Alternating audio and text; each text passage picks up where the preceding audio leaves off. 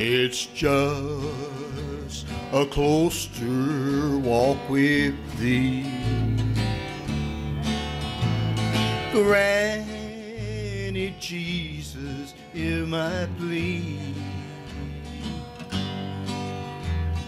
Daily walking close to thee.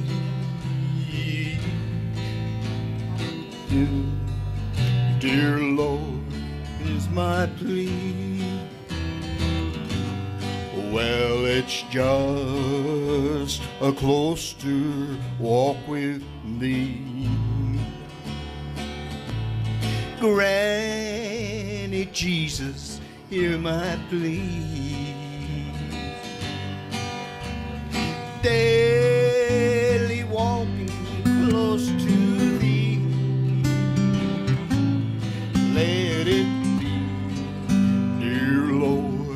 let it be. Oh, when my feeble life is old,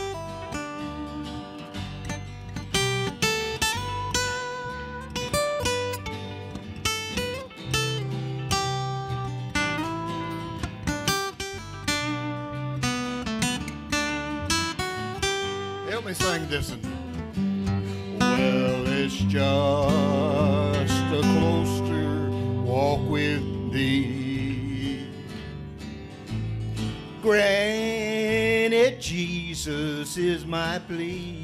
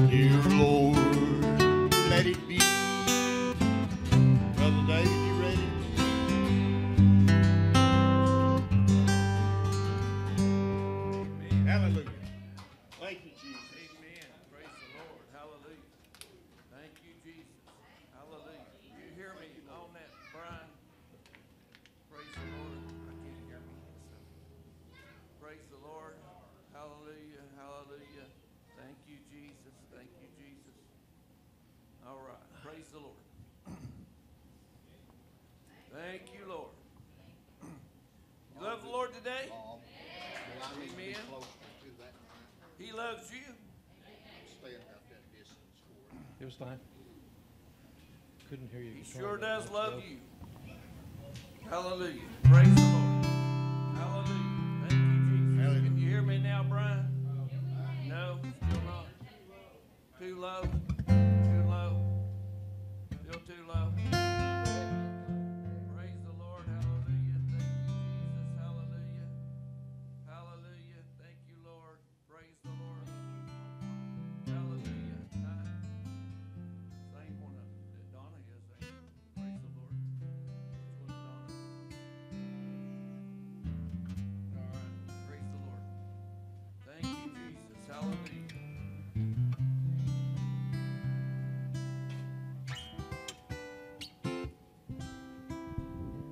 All right. Now, can you hear me? Amen. You hear me now, Brian? All right. It's good to be in the house of the Lord today. Yes, it is. Amen. To his name. Thank you, You know, God is so great. Yes, he is. God is so much more powerful than we ever imagined. He is so great. He is so great that he leaves us to ourselves to work out our own salvation. You know that's the that's the epitome of love. Love is sometimes letting go. Hmm? That's I mean love is sometimes letting go. Some people call it tough love. You know, uh, but he loves us. Untested faith is not to be trusted. You wonder why you go through trials and tribulations? Untested faith is not to be trusted. I mean, I, I, I asked you to imagine if uh, America had an army and they never trained. Huh?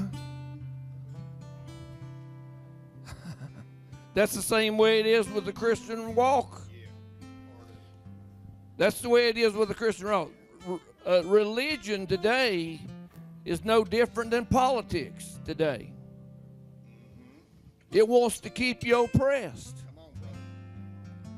Religion today wants to keep you oppressed to where you can where you can show up and cry a while, go right back into your pity party all week. Religion is a lot like government. But relationship with Jesus Christ, relationship with Jesus Christ, if you want one, will heal you. Huh? Come on now. Relationship with Jesus Christ will heal you. Come on, be healed. Jesus ain't coming back after a sick body. He's coming back after a healed body that's praying as He instructed. Father, let your kingdom come on earth as it is in heaven. Come on, the one that will receive that is on the way to healing, on the way to prosperity, not financially, materialism, or whatever. It's not. That's not what we're talking about here. We're talking about spiritually wealthy knowing that I, I I'm a pilgrim. Jesus said, I'm going to prepare a place. It ain't no tent that he's pitching for you in heaven. It's not a tent that he's pitching for you in heaven. It's a place in God. That place is so beautiful, it's undescribable. You'd have to see it to believe it. You'd have to see it to believe it, and if you could see it, you'd give everything that you've ever known to have it. That's what Paul did. That's what Paul did. And Paul walked in healing. You know what he was healed from? Religion. Paul was Paul was healed from uh, Paul was healed from bureaucracy that was a tyrant that would stone you if you sneezed wrong. Huh? Yes, that's right. And they was wa- they was waiting for you. They had them policemen, you know, out. They had them uh, Pharisees and scribes out there trying to find those that would violate their law to where they could show themselves powerful and stone them to death. Ask Stephen about it. Huh? Ask Stephen about it. Let's stand today as we begin church service. You know, we don't have much time to get it right. We don't have a lot of time to get this right. You know, to be wrong, to be eternally wrong, to be eternally wrong is to lose your salvation. Mm-hmm. Terrible thing. Yes, it is. Terrible thing. God wants you to be healed today. Yes. You know, uh, the religion tells you come to an altar, and if you make it to church once a year, you're all right. Mm-hmm. Relationship says You can't get enough. That's right. You can't get enough. You can't get enough. I come to get what I need today for today. I came to get my manna from heaven. Jesus told the Pharisees, He said, I am the living bread. I came to get all I can eat today because He's going to give it to me again tomorrow. And if it's the Sabbath, He's going to give me two days' portion today. Amen. You ready to be healed? You ready for that person that's on your heart to be healed? Yes. Jimmy jumped off a ladder and possibly broke his leg. I've tried to call him this morning, he didn't answer. So we want to pray for Jimmy. We want to pray for Tracy. She's still got pleurisy in her lungs, and that's uh, causing her a lot of pain. So she's at home. You know, uh, I don't know where you're at, but I know you know somebody that's not not where they need to be. You know, so we want to pray that God's way, God's will be performed in everything that surrounds us. You know somebody is hurt. You know somebody's broken. I got another text from Tracy about a baby that was beat by its mother, thrown out in the woods. Mother went back after the baby. I seen the picture of the baby all scratched and b- battered on on the thing Tracy sent me this morning. And they got that baby to the hospital and the baby recovered and is alive. But we need to pray for that baby and for that family. So and edith's got a friend that's nine year old that's got uh, pray for mike okay okay pray for mikey for what tooth edith's talking about praying for you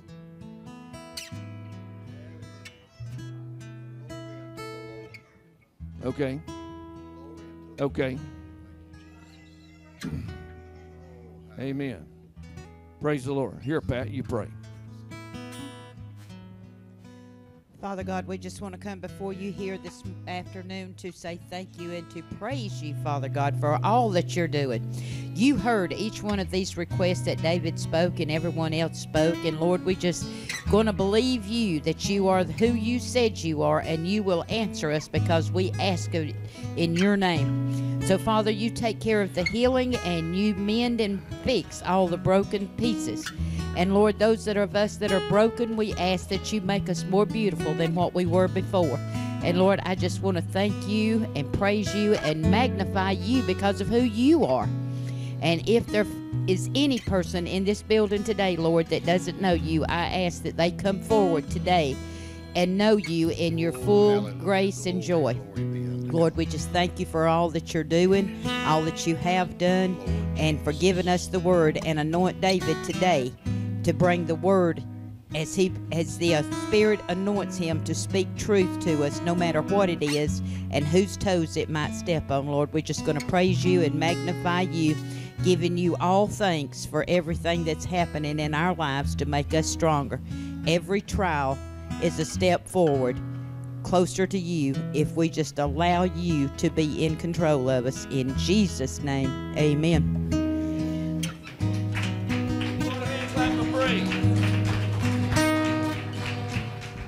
Well, I We'll- wandered so aimless, I feel with sin. I wouldn't let my dear Savior in. And Jesus came like a stranger in the night. Praise the Lord, I saw the light. I saw the light, I saw the light.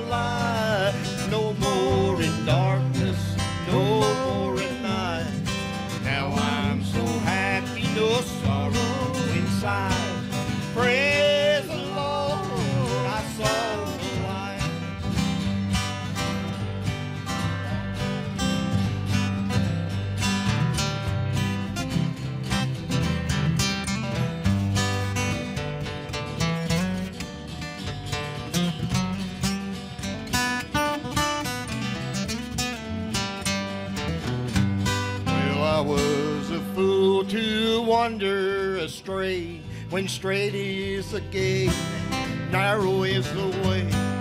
Now I have traded the wrong for the right. Praise Lord, I saw the light.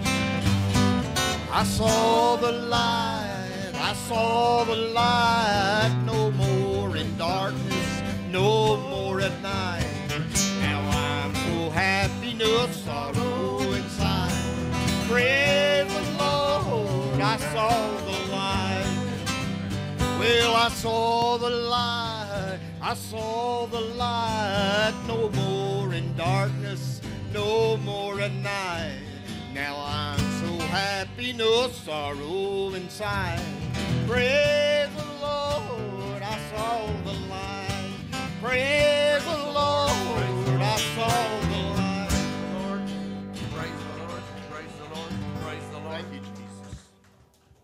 Glory to God. Good to have Brother Bob, his beautiful wife back with us. Appreciate you, brother.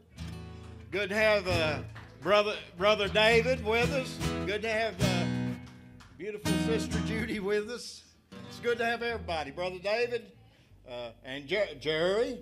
Jerry come all the way from Florida to be back with us. Thank God we need him. Thank God for uh, all this help we've got this morning.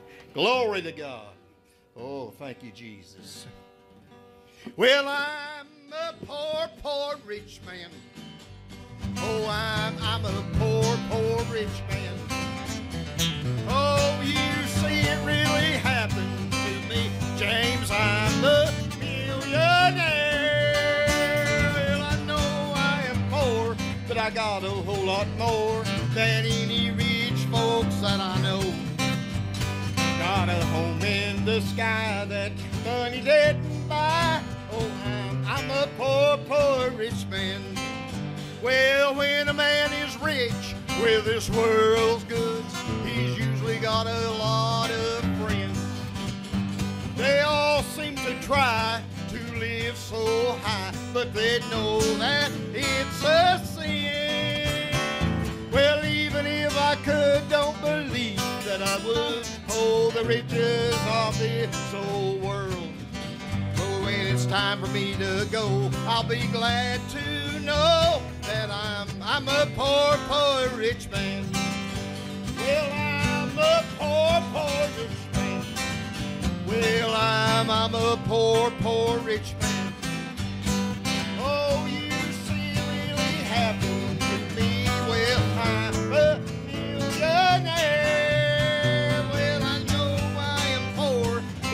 Got a whole lot more than any rich folks that I know.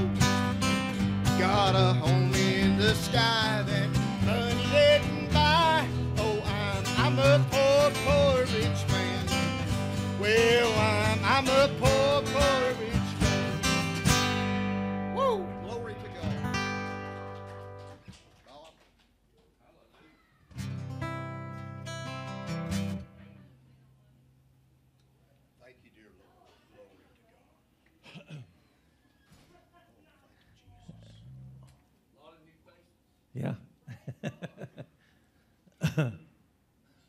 yep. How many know me? A few. That's good. Okay. How many came to praise, praise the Lord? Yes, glory. Hallelujah. Where we're going to, we're going to lift up the name of Jesus.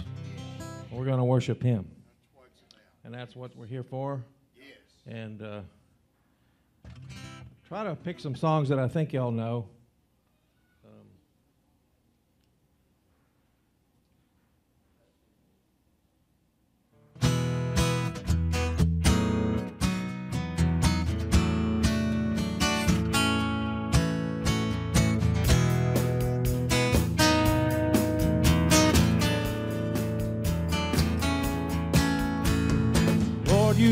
Are good and your mercy endureth forever. Lord, you are good and your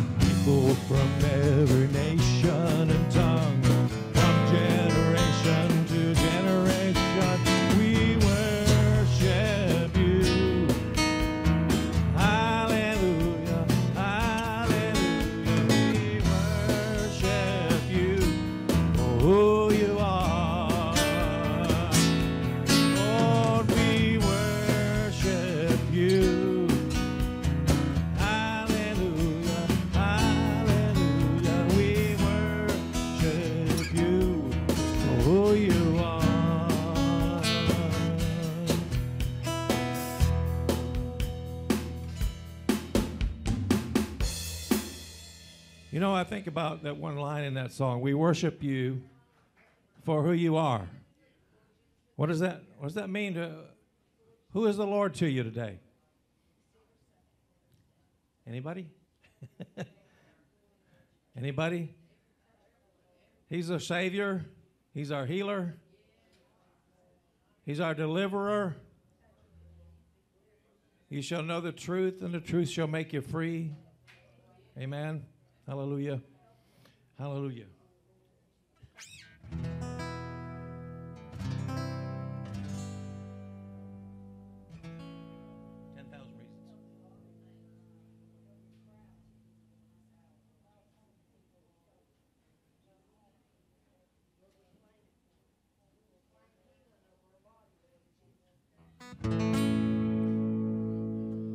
Bless the Lord, oh my soul, worship his holy name. Sing like never before. Oh, my soul, worship his holy name.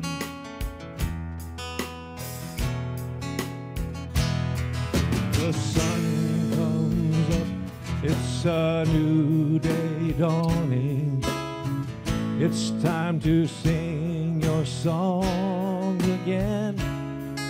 Whatever may pass and whatever lies before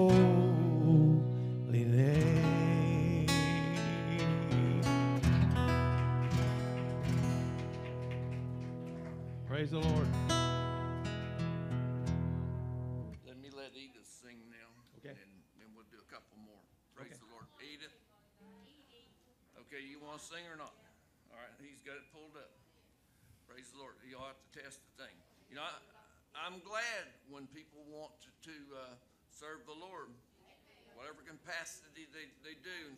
Edith does a good job at serving God.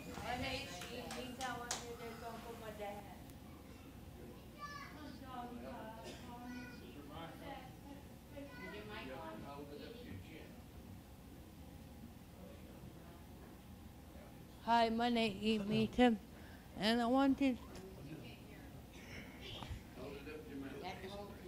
Mana i mita wandi the top of my dad. My dad paid a long time. Kaki and Pete helped me, my dad. That's all I can, you guys. But I wanted the song.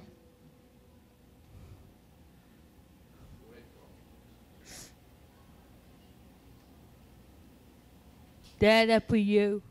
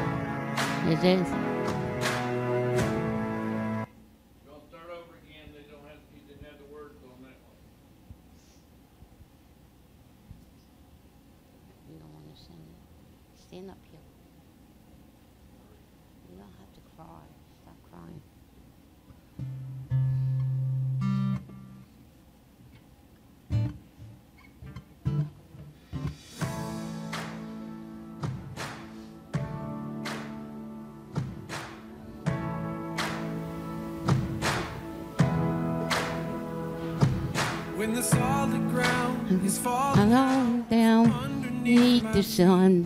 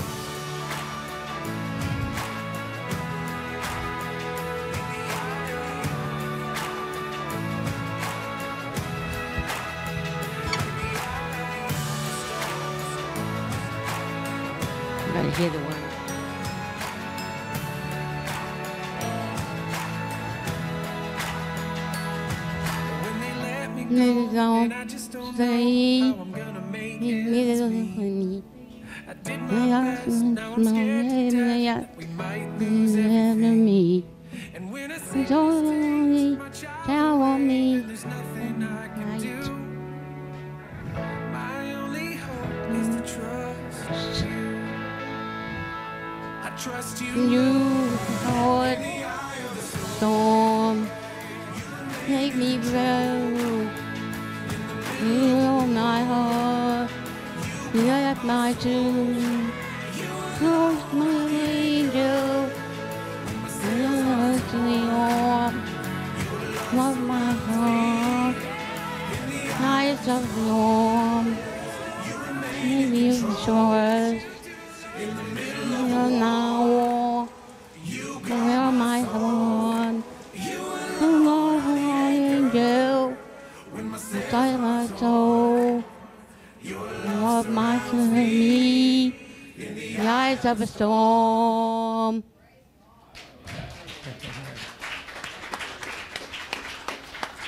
Thank you. Praise the Lord. God's with you every day, people. He's here every each and every day. He's yes, with he you is. every moment, every second. Amen. And he loves you all. Yes, he does. Believe me. He's going to take care of all of you, all your promises, everything that you need. Was there with you. Thank you, guys. All right, go ahead, Bob. Praise the Lord.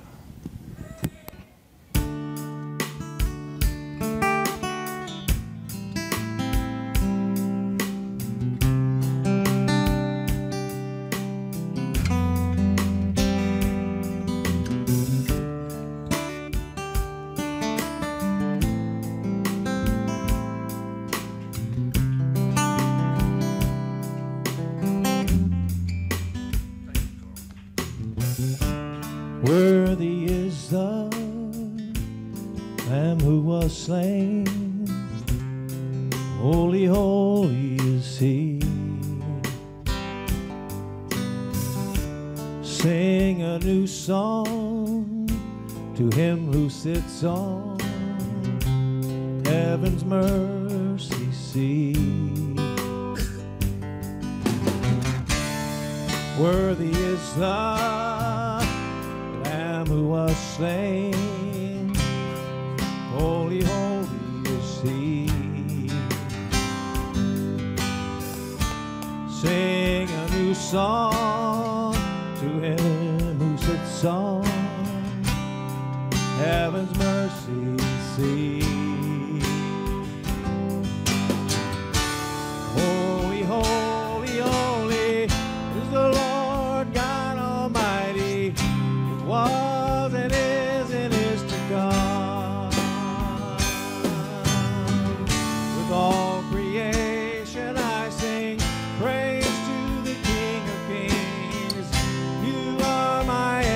thing.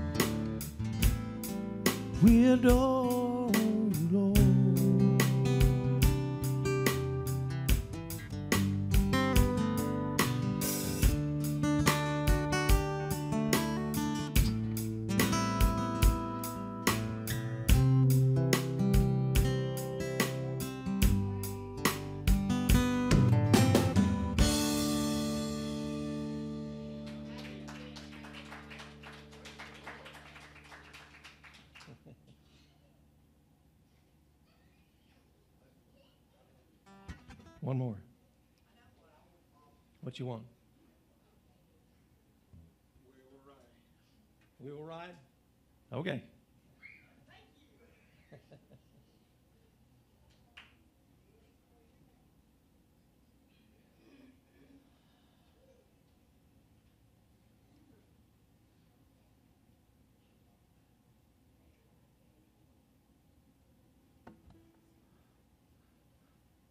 How many knows what this is about? We will ride. well, I'll tell you. In the book of Jude, he says, actually, he quotes out of the book of Enoch, which is interesting. Uh, he said, Behold, I see the Lord coming with ten thousands of his saints to execute judgment. So when he comes riding in a white horse coming down from the clouds, guess who's going to be riding behind him? We are. but you got to listen, you got to live with him, you got to live for him and have him in your heart in in spirit and in truth in order for you to make it there first so you can ride back with him. So that's when and later in the song it says we say yes, Lord. That's what we're saying yes to. We're saying yes to Him, we'll serve you here so that we'll be there to ride back with you. Amen. Give the Lord a clap offering. Thank you, Lord. Thank you, Lord. Thank you, Lord. Hallelujah.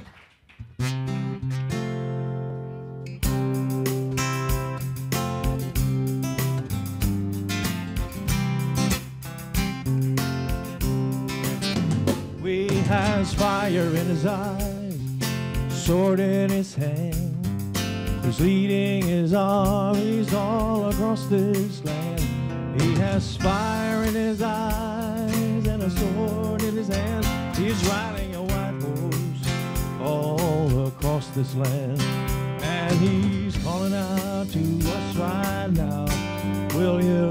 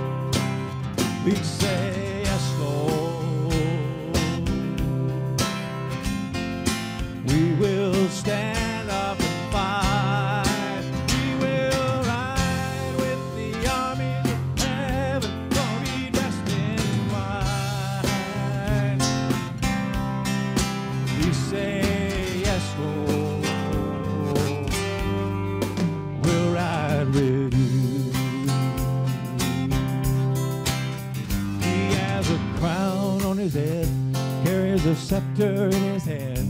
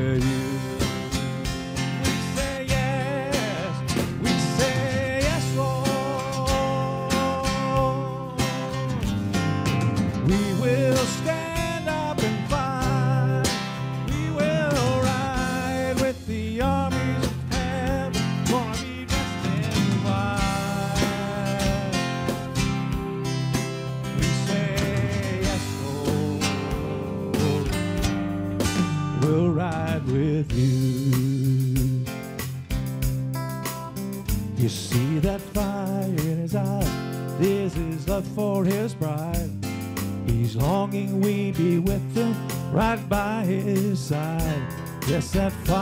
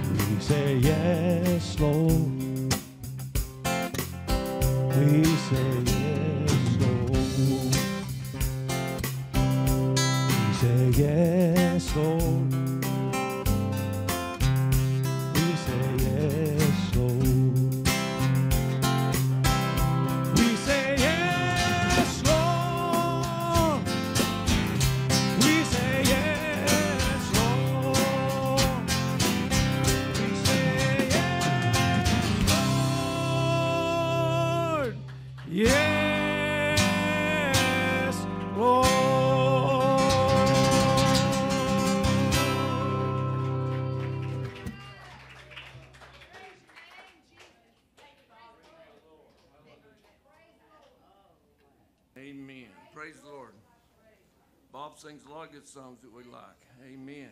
Praise the Lord. Just hang out. We may do some more. Okay. Praise the Lord. Don't you turn your Bible with me to, to Philippians chapter 3. Philippians chapter 3 on Miss Carol. Her mom, her mom is um, swimmy headed and vertical going on, and she's afraid to leave her at home by herself. She might fall and get hurt, so I'm missing my reader today. But we'll keep it short. So, uh, I'm telling you, eternity, I'm telling you, listen to me. Children could be dismissed for children's church. Um, eternity, I've said it and said it and said it. Maybe I need to repeat it some more. Eternity is too long to be wrong. I mean, think about it. Eternity, I'm going to say it again. Eternity is too long. Anybody know how long eternity is? Hmm? Never stops. Never stops. Infinity. There's probably other descript, word descriptive of the meaning of eternity, but I mean, you can't even imagine. Our imagination don't go that far. It's a long time. It's too long to be wrong. You know, or, you know, the world is full of opinions. You know, we make up our own way and we have our own opinions, and if, if people don't follow our opinions, then, all right, thank you. This Logan, he hadn't been here in a little while, but he's my little buddy. He used to preach with me when he was here over week and on Wednesdays and all. Me and him used to preach right here. Amen. You gonna sing for him? You gonna sing for him? Okay. All right. Praise the Lord. You know, uh, God said, "Let the little children come unto me." You know, for him to be comfortable, you know, not screaming and crying has a dangerous look. I didn't know if he's going to swing or not. Amen. Logan, now you can't be on the stage.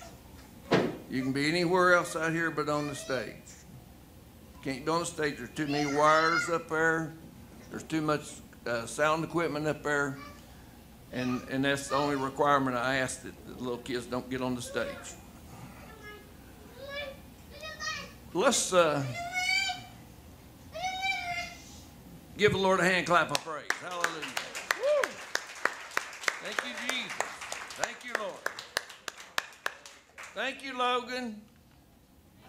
Thank you, Logan. Say amen. amen. He's a sweetheart.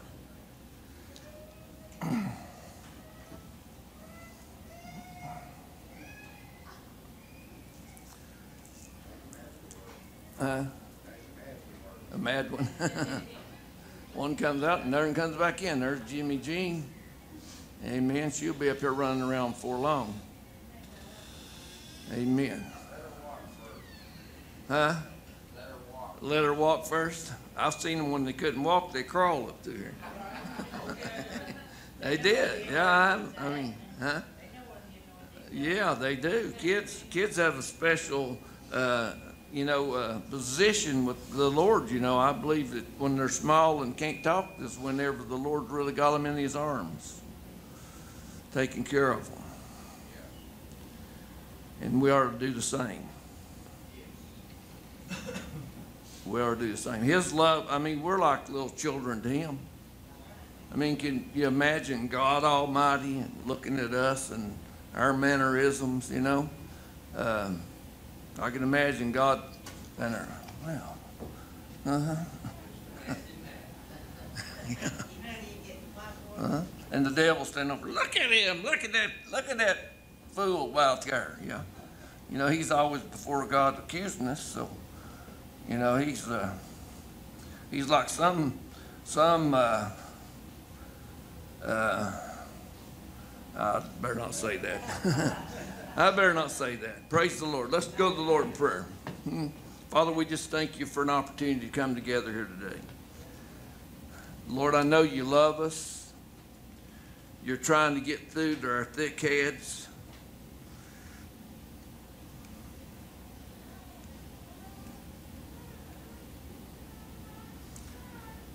To the shallow place between our ears.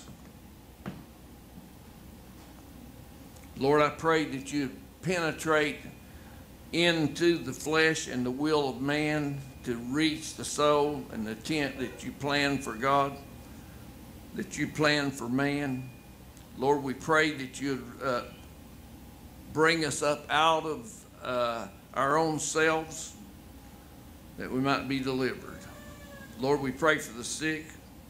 Pray for Carol's mom. Pray for Jimmy. Pray for Tracy. Pray for others that are sick. I pray that you'd minister healing to them because we're trying to reach a healed church, a healed body. We give you the glory for everything you do because we ask it in Jesus' name. Everybody said amen. Amen. amen. Give the Lord another hand clap of praise. He's welcome in this place. He's welcome in this place. Praise the Lord. Uh, if you had, if I could title this message today, I would title it "More Than Saved." How many want to be more than saved? Huh? Saved ain't good enough. For me, I mean, saved isn't good enough. I want all that God has for me. You know, He says that if you'll do uh, this or that, that you'll have a hundredfold blessing in this life, in this world. So I, I'm reaching for that right now. We don't have much time to get it because I believe we're out of time. I believe we're in the season of Bible prophecy being fulfilled in Romans 10, where 10 and 11, where, where Paul said there's going to be an end to the Gentile dispensation and don't count Israel out. That's what Paul essentially says. He says, don't count Israel out, paraphrasing, because God's going to return to the Jews in the last day. And it's going to be called Jacob's trouble. It's going to be a seven year period of time that uh, was left off in judgment of the Old Testament because he partially blinded the eyes of the Jews, and now he's partially blinding the eyes of the church, the Gentile world, it seems to me like. That's just my summary of what's going on now. I mean, but it's a repeat of all the things that happen. If you go to Numbers chapter 25 through chapter 30, verse 1, you understand that th- there was a, a, a man named uh, Pincus. Now, ain't that something? His name is Pincus. Would you like to be called, hey, Pincus, come here? That'd be like Ann. She used to be called Pinky. But now this is Pincus, and it didn't spell like you'd think it's uh, spelled. It's spelled P H E. Uh, where did I write it down? It's spelled P P H I N E H A S is his name, Pincus. And, and, and the story of Pincus is covered from Numbers chapter 25, verse 10 through Numbers chapter 30, verse 1. And Pincus was the man that was accounted, accounted for the, uh, to, uh, it's the one that ended the, the, uh, the thing that was going on with Israel after Balaam. Balaam was hired by another king of Moab to curse the Jews. You remember the story? And, and so he couldn't curse them. So here, here the story goes on that he that uh, that uh, Balaam couldn't curse them. So, uh, but he told the king that was trying to pay him to curse them. You know, he said, "I'll tell you how you can curse them. Send your beautiful women out, and the men will leave their place and." And, and attach themselves to the women that you send out, and then they will worship your gods, and they'll be cursed. Well, it got so bad. You see it going getting so bad in the world today. It, but it got so bad then that there was one of the women with one of the Jewish men right in front of the tabernacle in the wilderness having sex. Pincus, it, it raised up an anger in him, and he took a spear and threw it, and, and it went through both the male and the female and killed them. And it ended that, uh, that array of things that were going on that was causing the Jews to curse themselves. I want to talk to you about more than saved because if we don't get to the place that we're more than saved, we're going to curse ourselves. It wasn't good enough to be a Jew and delivered out of bondage for 40 years in the wilderness. It wasn't good enough to do that because they fell short of the glory of God and believing God for, for His promises. God's promises are yea and amen. His promises are the, are the implication and the promise that He loves you. Loves you better than anybody else can love you. God loves you better than anything. Look what all He's done throughout, throughout creation just to prove His love for us. I mean, loving someone is providing for them. Loving someone is showing up, spending time with them. He's there. He's created everything that we can enjoy. The air we breathe is from God, the breath of God. The water that we drink, and we have to have every, what is it, seven days we have to have water. If you don't have water and food for seven days, they say you're pretty close to dying. So we, we have to, that's an implication right there how bad we need God.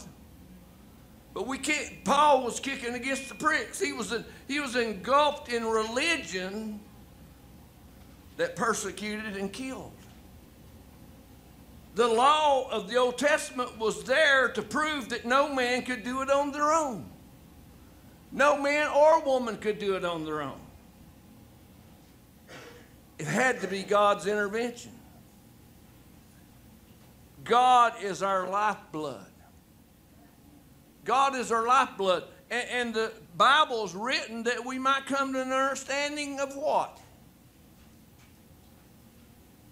His love. Not an understanding that, that, that I mean, John 3 says that he, he gave his only begotten Son that some might be saved. Whosoever believeth. You a believer? Are you a believer? Yes. Huh? Come on. Are you a believer? Philippians 3, verse 8 to 11 says, ye doubtless and ye doubtless, and I count, yea, doubtless, and I count all things to be lost for the excellence of the knowledge of Christ Jesus my Lord, for whom I have suffered the loss of all things. Now, this is Paul writing to the Philippians, and he's, he's given a testimony that, that he has suffered loss of things that, that he had, had uh, before him. He was, he, was, uh, he was a student of the law, and he sat at the feet of one of the most uh, uh, knowledgeable uh, rabbis there was of his time. He sat at the feet of Gamaliel was his name, and he was a teacher of the law. And Paul, being a, a Benjamite, a rich Benjamite, Benjamite, his his family had gained uh, he had, had gained citizenship in the Roman government. Plus, he was born a Jew. So he came to Israel to study the law and be a disciple of Gamaliel. Disciple means a follower. But it, it's more in depth than a follower. It's more like what I just said, more than saved. More than just follower of the law. He lived it, breathed it. He lived it, breathed it, ate it. It was a part of him just the way God has to be a part of us.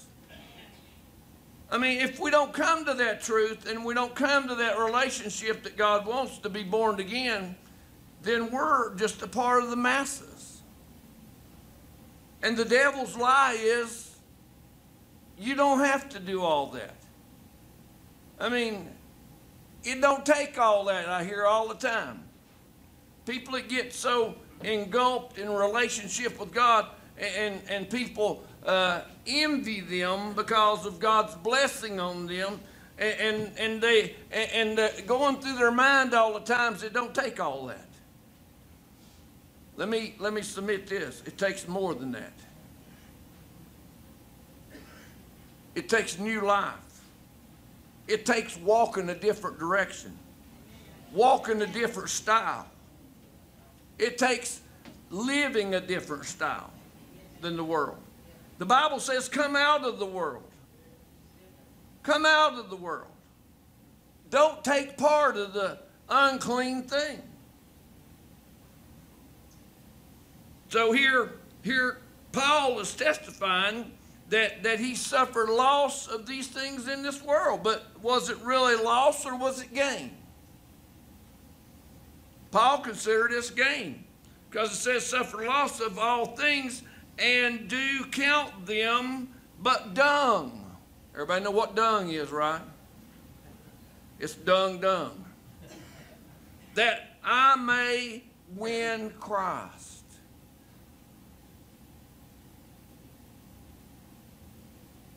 That I may win Christ. Verse 9 says, and be counted in him, not having mine own righteousness not my own works, His works of redemption. My works of redemption is as filthy rags. That's what the Bible says, isn't it? It says, Mine own righteousness, which is of the law. Goody two shoes. We all sin and fall short of the glory of God. Come on. God looks at sin in the same way, no matter what kind of sin it is. There's some worse and some some better. I mean, some worse and some less worse. I guess not better, but uh, I mean, there's judgments in categories of sin that could cost you your eternal destiny. Your eternal destiny, not your eternal life, because you're going to live somewhere. You know, we were talking in uh, Pat's class last night, and, and it was a really good class. Y'all missed a good class. And, and so we were talking last night about righteousness, and, and, and so righteousness doesn't really count unless you have faith. You know, uh, Abraham was the father of faith, and it's like we said a while ago faith untested can't be trusted. So Paul even went as far as saying that, or Peter or James one said in, in one of the epistles that without testing, you know, there's without a test, there's no no faith. Let me go on and read, uh, or I'll be rambling. it's good to see Bob and Holly, ain't it? Praise God. Praise God, he's like me, he's put on a little weight. Hallelujah. Eating good. And be found in him not having mine own righteousness, which is of the law, but that which is through the faith of Christ, the righteousness, righteousness which is of God by faith. So he's saying right there it's not my faith. It's his faith. It's his faith that I can trust, not my own faith. I've been wrong a lot of times when I was sure I was right. Come on. I would even bet on it that I was right and find myself wrong, lose the bet. Paul saying that the faith that God requires is, is the faith that Christ has, and we'll, we'll be saved by his name sake, for his name's sake. But it's sad to think that there's over 7 billion people on the earth. How many you think saved? Not many. Compared to 7 billion, 7 billion is a lot of number. It's not just some little thing you throw out. You got uh, billions and now you got trillions. That's what Trump was bragging on. This is $2 trillion. He gave those stimulus checks, $1,200 a piece or $600 a piece, whatever it was. He just give us back some of the money they stole from us already. Huh? Come on. They stole it out of your paychecks. You worked hard for it, but they stole it out of your paycheck. They give it to the to the, the masses, uh, Planned Parenthood. Huh? That's some of their pet peeves. I thought was going to disappear in 2016, didn't you? That's what we were told. One of the things on the to-do list, wasn't it? Did he? According to what the calculations and the figures showed in 2018, he'd give more. They got more.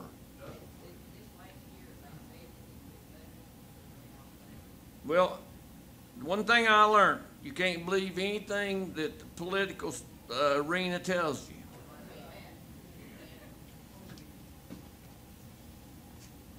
You can trust this. I mean, you can you can trust this. I don't care what you think about all the different translations. If you study them, you'll see what God means and how righteous God is in His presence. Because, I mean, I've, I've been there, I've heard other people say time and time again, well, whenever I was, uh, before, before I got saved, I'd pick up the Bible and I didn't understand it. Huh? Well, I guarantee you get saved, born again, you start reading it, you'll start understanding it because it'll all make better sense because the Holy Spirit's the one that wrote it. Huh? We're his hands and feet and mouth and eyes and body that carries it, but he's the one that inspired it. Praise the Lord. You know, I'd give up everything just for a moment of eternity. Paul had a moment of eternity.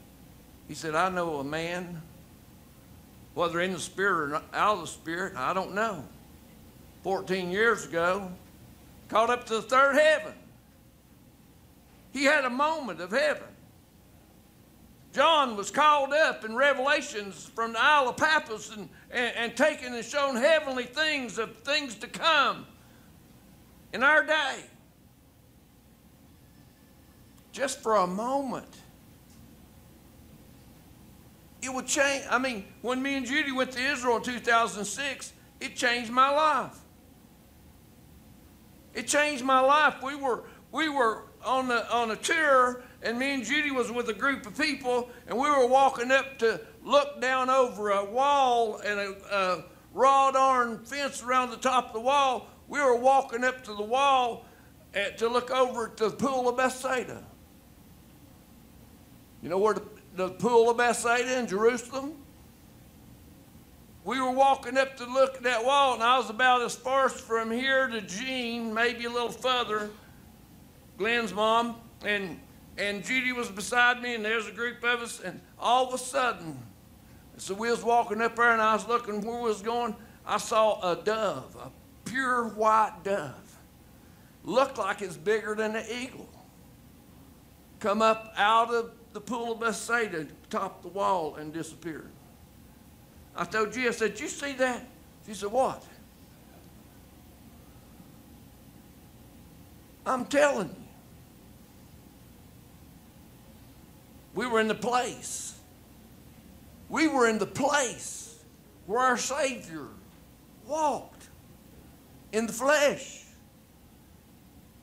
in a God suit. Not in a man suit, in a God suit. He wasn't never lost. Praise the Lord. He wasn't never lost, church. His daddy was God Almighty. The Holy Spirit breathed upon Mary. Come on, you didn't get that. Can't even get, can't even, I'll give anybody. How much you want for an amen? Amen. huh? Hallelujah. Praise God. Verse 10 that I may know him. Could you imagine? I mean, we can read over the surface of this word here. You know, we can read over the surface and we can think it's just a good book. We can think this and think that. But, Paul's talking about a deeper knowing. I said last night in the class that we were talking about, and I said, you know, several years ago, I quit trying to study the Bible and started trying to study what the Bible was saying.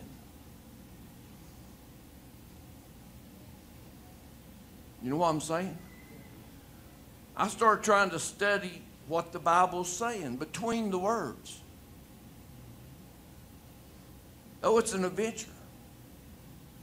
I'm telling you, it's an adventure. There's peace and there's comfort and there's joy in that because the joy that passes all understanding is between what the words say on the page and you can devour it and, and was talking about we get it down into our hearts, but it's further than that. We got to get it down into our stomach. That's where everything comes from, even to the bowels that, that right before it's to be cast out into the draught is where we got to have the basis of, of our relationship with God because this is temporary. This is temporary. What God has is eternal. Paul said, walk in the Spirit. That brings us into a different category now, not then, now. If you don't get into that category now, eternity is going to be too long to be wrong. I'm telling you. You know, it's like I said a while ago in the opening prayer. To get salvation, to have an experience with God, that between your ears you, you think so shallow that, that, that you can hear the world say, well, if you come to church on Sunday, or come to church once a year or twice a year, you're okay. Can I tell you, can I tell you, they're wrong? You've been listening to the wrong voices.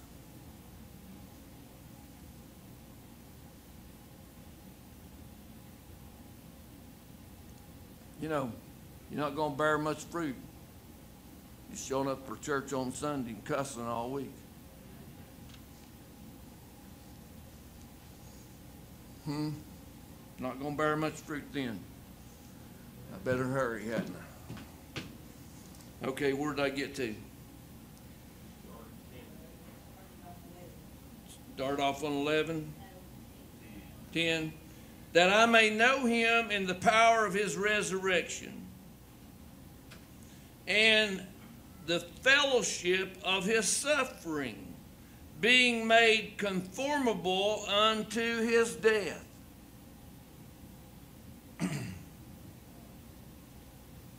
being conformable unto his death. Do you understand what that's saying? You understand what that's saying? To be conformable unto his death? That's, that's the same language that, that uh, Paul used in Romans chapter 12. Offer yourself as a living sacrifice. Something's got to die. I mean, something's got to die for Christ to live in you because he won't share he won't share an occupancy. He won't. You can do everything you want to do, but if you're not a host for the Holy Spirit of God, the Father, Son, and Holy Spirit, if you're not hosting them, what are you hosting?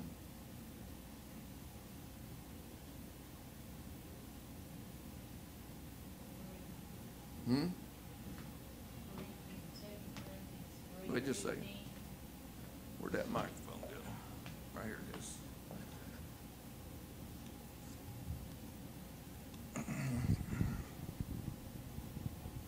2 Corinthians 3:15 and 16 says, "But even unto this day when Moses is read, the veil is upon the heart. Nevertheless, when it, it being the heart, shall turn to the Lord, the veil shall be taken away." It's only when you get saved that you understand the word of God. If you're not if you don't know him, you're outside of the family. So if you don't know him in the power of his resurrection, if you're not, if you're not going through the process of being transformed into his image and likeness, you see, you didn't lose his image, but you lost his likeness. So if you're not being transformed into his likeness, then then you're outside the family of God. And to be outside the family of God is to, to, to suffer the second death separation from God. Separation from God is death. Be born once is to die twice. To be born twice is to die once. Verse 11 says, If by any means I might obtain unto the resurrection of the dead, those that endure to the end shall be saved. Go with me to Hebrews chapter 12, verse 1 and 2.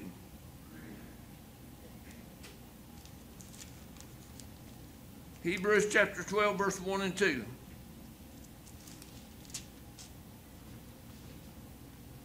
Wherefore, seeing we are compassed about with so great a cloud of witnesses, let us lay aside.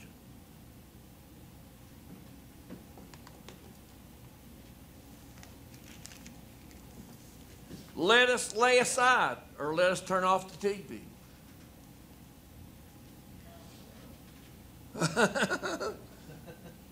huh? If it's besetting you, it's, if it's taking up your time that you should give with God. Huh? Therefore, seeing we are, are compassed about, that means you're in the middle of a crowd. Huh?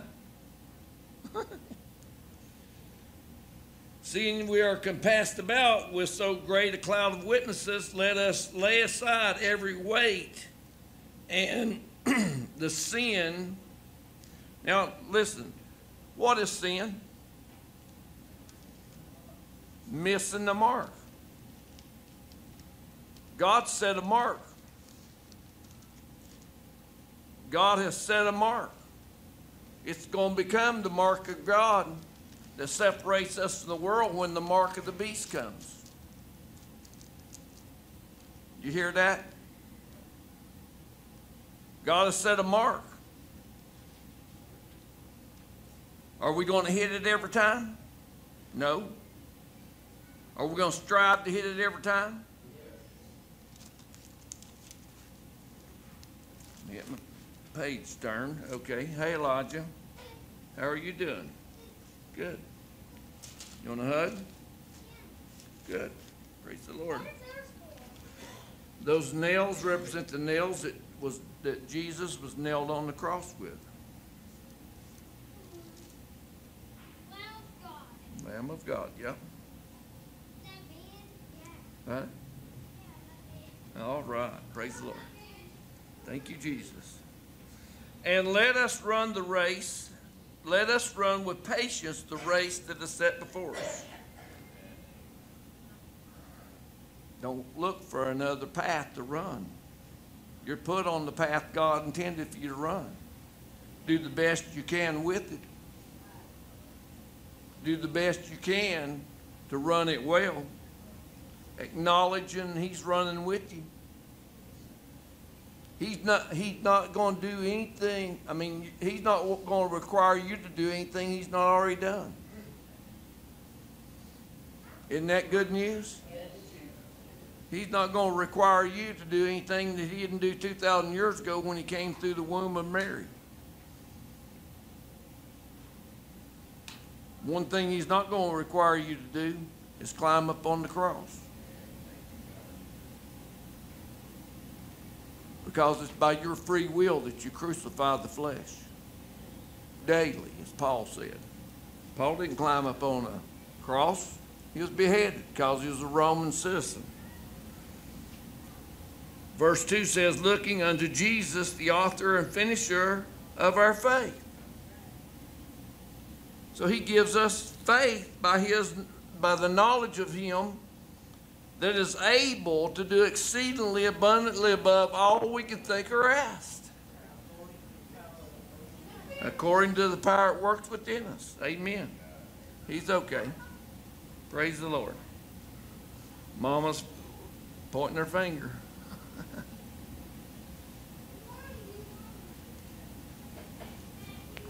Hallelujah. Looking unto Jesus, the author and finisher of our faith, who for the joy that was set before him endured the cross, despising the shame. He did it despising the shame of it. Because the Bible says all that hang upon the tree is cursed. So he became a curse for you and me.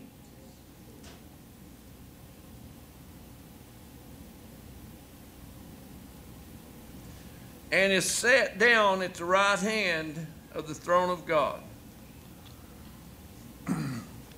He's set down there. He never sleeps, he never slumbers. You remember what happened in Acts 7 when the when the Nicolaitans and all accused Stephen? They drug him outside he preached the second longest sermon, I think, in the New Testament. Stephen did. Then they drug him outside the city and they stoned him to death. Paul was one of them that consented to them stoning him, being in authority. The scripture even says that he held their coats where they could have good throwing space. I mean, it's hard to throw a rock as hard as you can with a coat on, so they, he held their clothes. They had those long draping uh, clothes that they wore at that time. So he held their coats to where they could really throw that stone and kill him. And what did the Bible say? Stephen, as he was being stoned, looked up into heaven and saw Jesus standing at the right hand of God. Standing. And Stephen's reply to what was going on was, Lord, forgive them. Forgive them. I mean, a glimpse of eternity. We're already in eternity. Take the blinds off. Take the blinds off, church. Reach for more. Reach for being more than saved. Come on. It's not not figured out between these two ears. That's a shallow place. Huh? It's figured out whenever you get down and dirty. You know, I was thinking last night as I was studying, I, I thank God. I, I praise God to be a servant.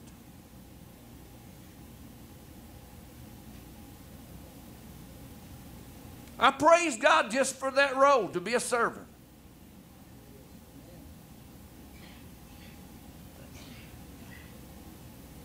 And I know, I know the menu. I know what God is requiring of me day by day. What God requires of me day by day as a server. Picture yourself as a server in a, in a fancy club and everything. They're serving fancy meals and everything. Clean hands. That's a requirement. Have the garment on as a server of Christ. And the meal is always salvation. It's not hard to keep up with that way. Salvation comes in, in different forms. that could be feeding the hungry, could be clothing the naked. Salvation comes in all those things, and he says, "Be careful that you." It's in it's in uh, uh, Hebrews chapter thirteen there, but I w- I don't want to go to that yet. I want to go to, to Hebrews chapter six. Hebrews chapter 6. Well, wait a minute. Let's go to Hebrews chapter 1. Here I've got beside myself.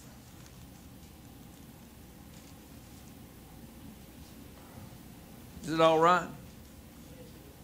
I'll try to finish in five minutes. My first closing. okay? No, Hebrews 1, verse 1 and 2. We did Hebrews 12, 1 and 2. Okay. It says, God who who at sultry times, that's in time that means times past, and in divers manners spake spake in time past unto the fathers by the prophets. Verse 2 hath in these last days spoken unto us by his Son, whom he hath appointed heir to all things, by whom also he made the world. So, in other words, Jesus Christ formed and made the world. Without him, nothing was made. And so, God, through Christ's uh, crucifixion and resurrection, was given all authority and power that he already had. It was just a confirmation that he had the power to save that which was condemned. Huh?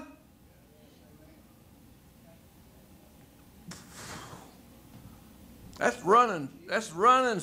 That's running knowledge there. Praise God. Hallelujah. I, I'll keep my calm. Praise the Lord. Mm, go to Hebrews chapter 6 now. Hebrews chapter 6, verse 11 through 16. Of whom we have many things to say, and hard to be uttered, seeing ye are dull, dull of hearing. Don't that fit us?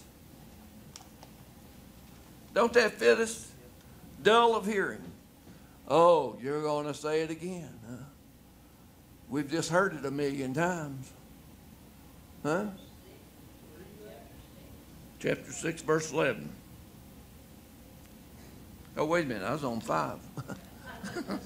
uh, wait a minute, I'm not supposed to be on five. I'm not supposed to be in chapter five.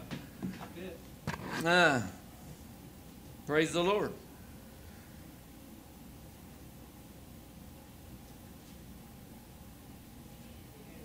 Amen.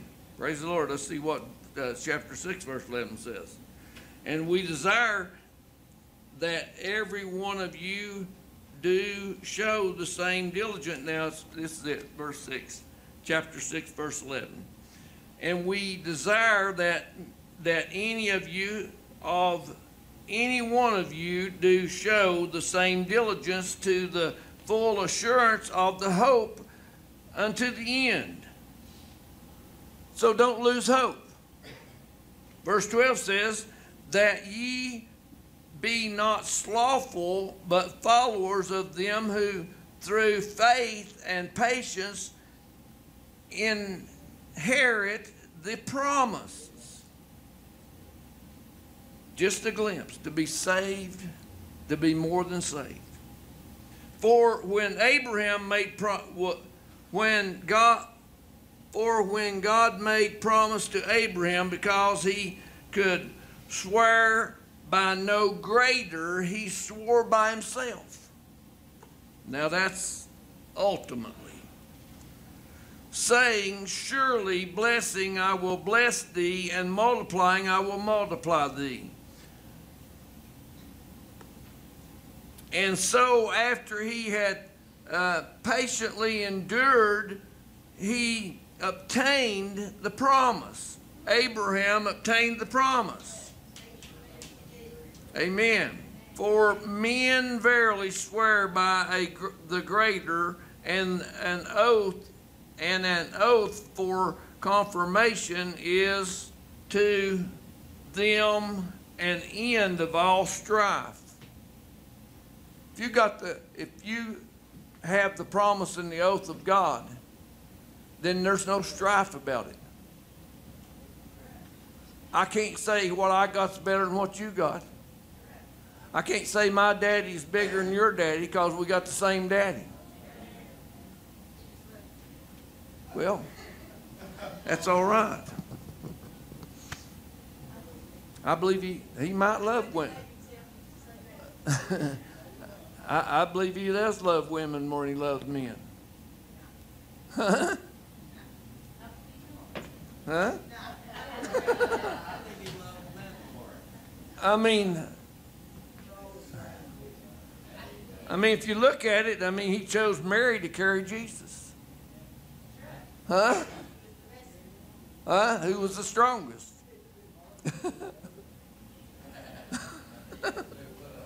oh boy. Oh my. Praise God. Hallelujah. He's harder on the men because the men are no better. now I want to go to Revelation chapter 12 again. Revelation chapter 12, verse 21 through 29. I mean Hebrews. Hebrews chapter 12, verse uh, 21 through 29.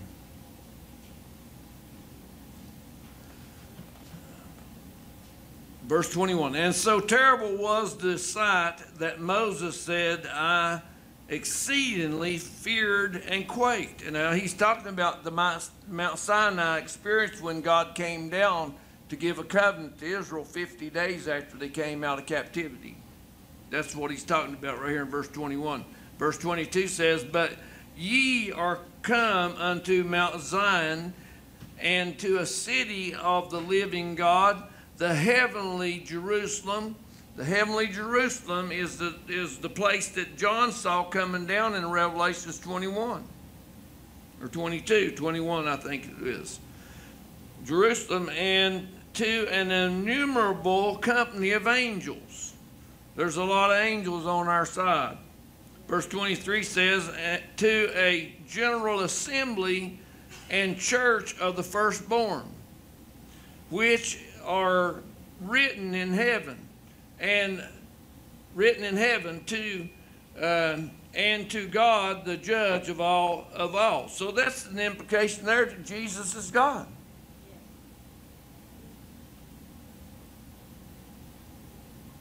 Okay? And to the spirits of just men made perfect. You feel made perfect? That's where we began. God's coming after a healed body. Are you healed? I don't want you to leave here unless you get healed. I don't want you to be sin sick when you leave here. I want you to, I want you to hit the mark today. The mark of the high calling. To be more than saved. To be more than just mundane. To be set apart for a, for for a work of, for God that some might be saved. And to Jesus, the mediator of a new covenant. Mediator of a new covenant. To the blood and to the blood of sprinkling that, that speaketh better things than that of Abel. Abel's blood didn't have the power to, to save Adam and Eve. Only Jesus' blood had the power to save. Built bulls and goats and cows didn't have the power to save. But when Christ sprinkled his blood on the Ark of the Covenant in heaven, on the mercy seat of heaven, it produced the power that we could be more than saved. It's up to you. See that ye refuse not him that speak, for if they escape not who refused him that spake on earth, much more shall not we escape if we turn away from from uh, him that speaketh from heaven. Now we were here Wednesday night a few a month or so ago, and Donna mentioned John John chapter 6, verse 66. 666 in John. Huh? All right, John 6, 6, 6. Chapter 6, verse 66 of the book of John. Jesus just told the told the disciples, the 70 that was following him, the 120 that was following him, he was just teaching them and telling them, except you eat my flesh and drink my blood, you'll have no part of me. And they looked at him and said, they looked at him and said, This is too hard to say. And the Bible in John 6, verse 66 says, And they turned away and followed him no more. Don't turn away from God. You know better now. You turn away from God, could that be the mark of the beast? Could that be the unpardonable sin? Blaspheming the Holy Spirit? Could that be it? To turn and walk away from God because He said that He wants to be in you? We eat steaks and everything else, bacon. We eat all that stuff. Part of our being, the things we eat. How spiritually fed are you? That's what he's saying. How spiritually fed are you? Are you going to walk away from the, from the spiritual bread of life that is Jesus Christ? what, what verse was that?